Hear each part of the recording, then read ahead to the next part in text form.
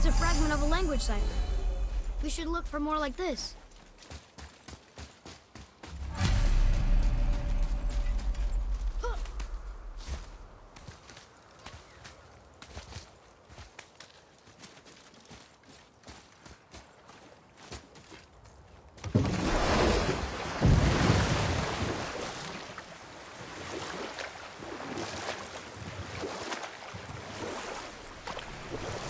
Okay, I know I saw something. I saw too.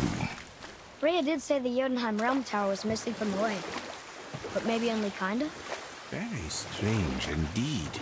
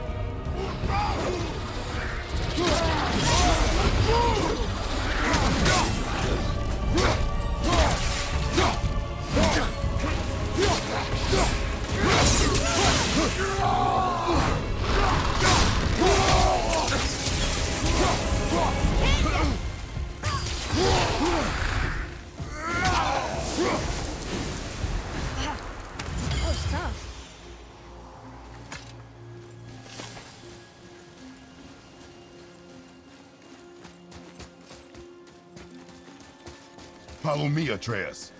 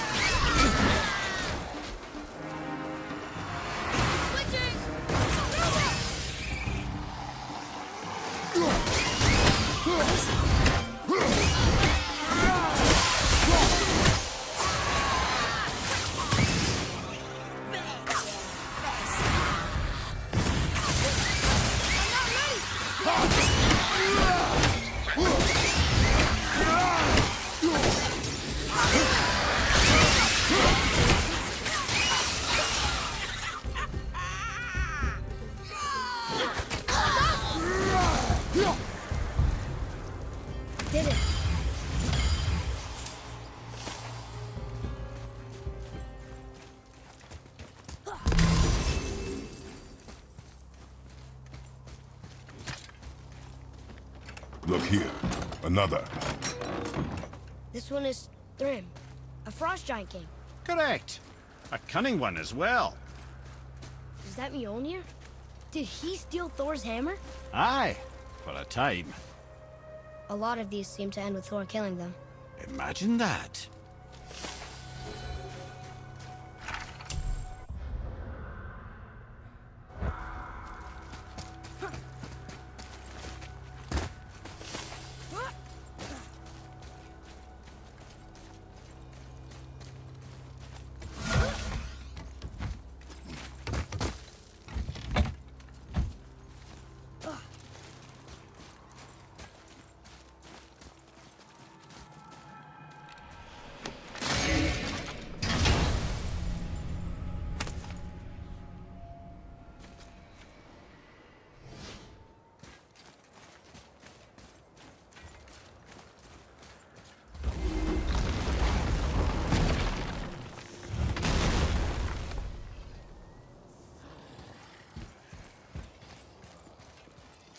Another name. It's as if they've been made into a memorial to the Valkyries.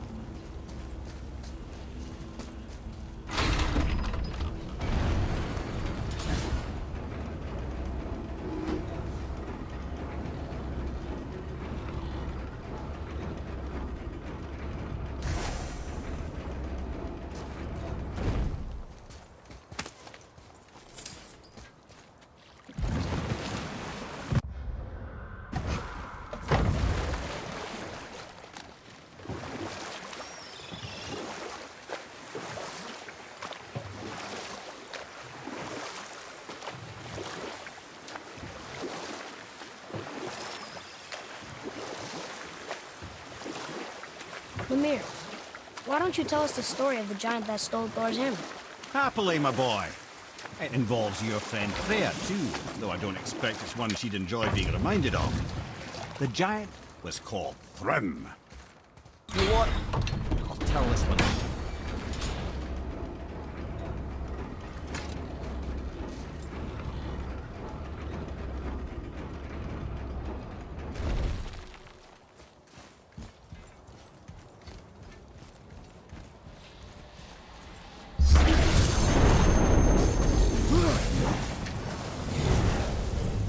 Ugh!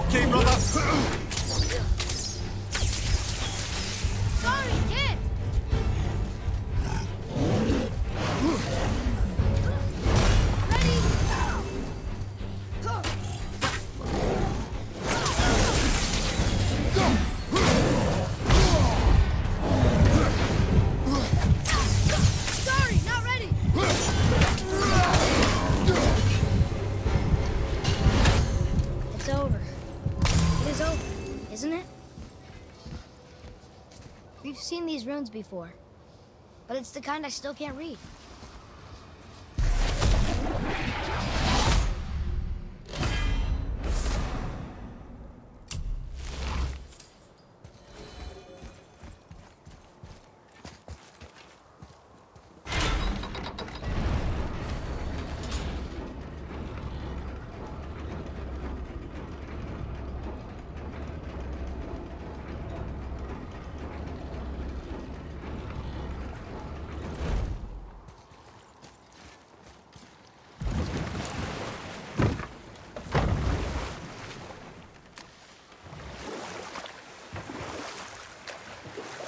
That down there?